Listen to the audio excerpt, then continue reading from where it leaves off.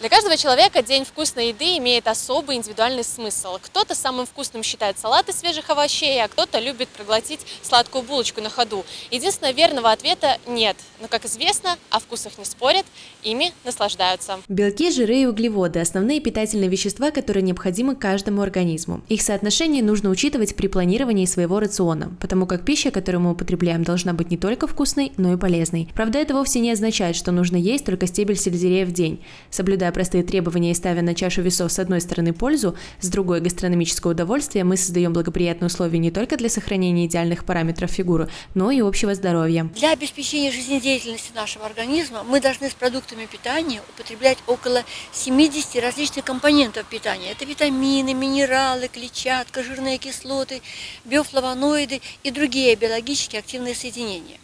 Ученые подсчитали, что для того, чтобы мы это получили, мы должны употреблять около 100 видов растительной продукции. То есть это крупы, овощи, фрукты, ягоды, зелень и так далее. Во всяком случае, мы должны стремиться к максимальному разнообразию своего рациона. В период лета, когда дары природы радуют жителей областного центра своим богатством и разнообразием, рацион должен состоять на 80% из полезных ягод и фруктов, советуют специалисты. Узнать, придерживаются ли этого правила те, кто любит вкусно покушать и считают ли, что полезная пища может быть и здоровой, люди отвечали. Овощи, правильно приготовленные овощи, они вкусные и полезные. Если правильно приготовить пищу, она будет и вкусная, и полезная. Мы это то, что мы едим, поэтому, конечно, очень нужно придерживаться правильного питания. Мы, грубо говоря, спортсменом, спортсмены занимаемся спортом, нам, конечно, полезная еда. Полезно.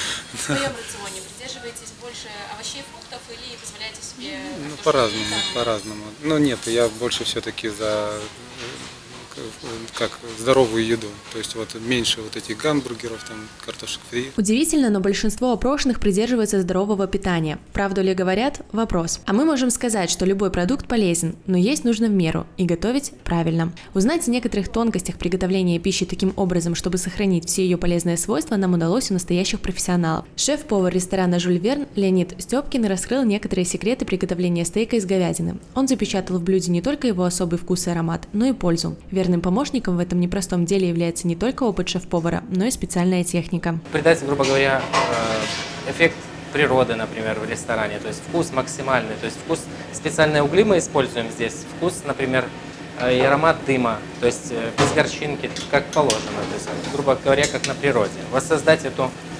красоту. При этом повара ресторана «Жюль Верн» большинство продуктов готовят по технологии сувид – медленное приготовление при низкой температуре. Именно такой способ сохраняет все полезные свойства пищи. После этого все ингредиенты отправляются на угли и там доходят до готовности, сохраняя все питательные свойства. Во главу угла повара ресторана ставят пользу блюда и только затем вкусовые и визуальные параметры. За время работы в компании «Санта», то есть это последние 8 лет работы, э, и я понял то, что шеф-повар это не тот человек, который просто готовит, а шеф-повар это тот человек, который умеет просчитать, э, как это будет э, через какое-то время блюдо выглядеть, какой вкус у него, то есть чем оно сочетается. И э, вообще уместно, неуместно оно в этот сезон. Первоочередное тоже из задач шеф-повара сделать полезное меню. Мы пытаемся сохранить максимальную пользу каждого продукта и дальше его делать правильную например, тепловую обработку чего-то, правильно, если даже это приготовление десертов, то есть крем сделать настолько нежным, то есть как это должно быть, максимально учесть все технологические нюансы, например, температурные нюансы, сочетание его с э, продуктами другими, ингредиентами. Бесконечно смотреть можно на три вещи, как горит огонь, течет вода и, немножко перефразируем, как готовят вкусную еду шеф-повара. И если в их задачу входит придумать не только аппетитное, но и полезное блюдо, то в нашу этим наслаждаться. Ешьте вкусно и будьте здоровы!